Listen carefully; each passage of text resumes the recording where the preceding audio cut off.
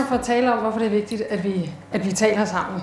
Øhm, og, og det jeg vil starte med at sige, det er, at som regel, når vi, når vi står over for en stor præstation i livet, så, så ved vi, hvornår det sker. Hvis vi tilmelder os et maraton, så træner vi op til det, så vi er parat, vi kender datoen. Men de store samtaler, de store vigtige samtaler i livet, vi ved ikke, hvornår de rammer os.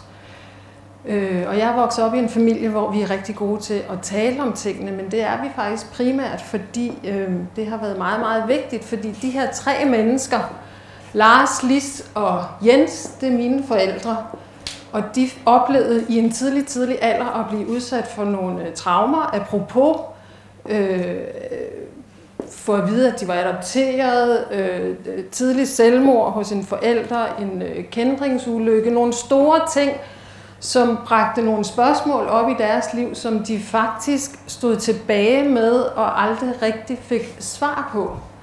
Og der sker det med os, når vi har nogle store spørgsmål i livet, som ikke bliver besvaret, så på et eller andet tidspunkt, så holder vi op med at spørge, fordi vi er bange for at blive afvist. Vi er bange for måske at komme til at såre nogen med vores spørgsmål. Vi er bange for at grave i noget.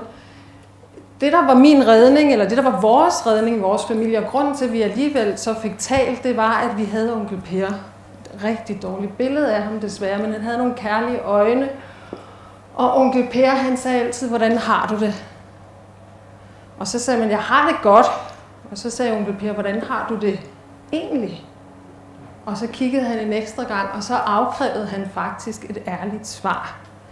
Så man kunne ikke sådan snakke udenom. Og Per, han, er så, han ligger i mig og har med min sådan uh, bullshit-detektor igennem livet, som også betyder, at jeg som voksen har været nysgerrig på, hvordan kan vi skabe nogle samtaler, hvor vi ikke er hæmmet af, at vi kender hinanden så godt, så der er nogle ting, vi ikke tør spørge om. Og jeg kastede mig ud i et projekt for en otte år siden, hvor jeg begyndte at gå ture med folk, jeg ikke kender. Fordi der tænkte jeg, der kunne jeg spørge, hvad fylder i dit liv? Og fylder det der med liv? Og jeg vidste ikke, hvad deres historie var. Og jeg har inviteret masser af mennesker ud på gåture og har haft nogle fantastiske samtaler, fordi vi ikke var hæmmet af viden om alt det, vi ikke kunne tale om. Og fordi vi fik skabt sammen et, et fortroligt rum, hvor man kunne stille alle de måske også svære spørgsmål, og kunne dele nogle af de svære øh, historier, som, som er så vigtige for, at vi som mennesker føler os set og hele.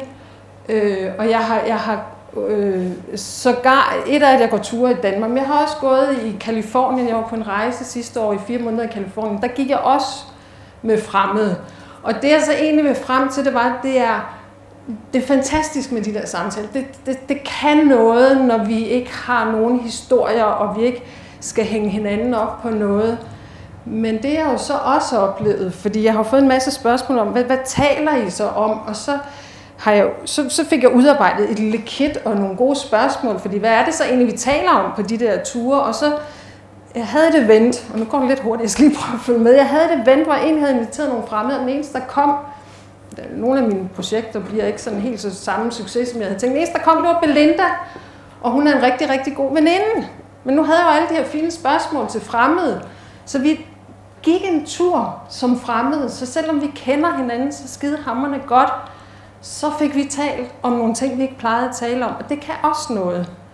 Og de kort, jeg så havde med på den samtale-tur, eller den tur med Belinda, dem smed jeg så på middagsbordet næste gang, jeg havde venner sammen. Og det betød også, at vi lige pludselig i en lukket kreds, eller i en, i en kreds, hvor vi kendte hinanden, kunne have nogle nye snakke om noget, vi ikke plejede at tale om.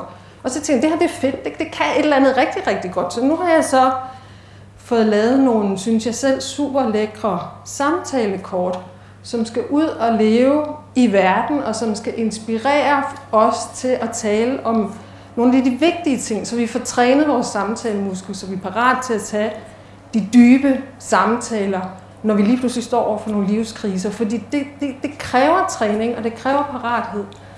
Øhm, så det, det, det er min samtalekort. De har allerede været på Caminoen, der var en, der havde dem med. Og det, det, det, der sker et eller andet, når man inspirerer, eller når man inviterer til de her samtaler. Vi bliver bare klogere. Og, og det jeg så egentlig godt vil invitere jer til, det er... Øhm, jeg har gang i en hel masse, hvor jeg rigtig gerne vil se jer alle sammen. Men altså, gå ud og spørg en, hvordan har du det sådan egentlig? Og så vær parat til at lytte.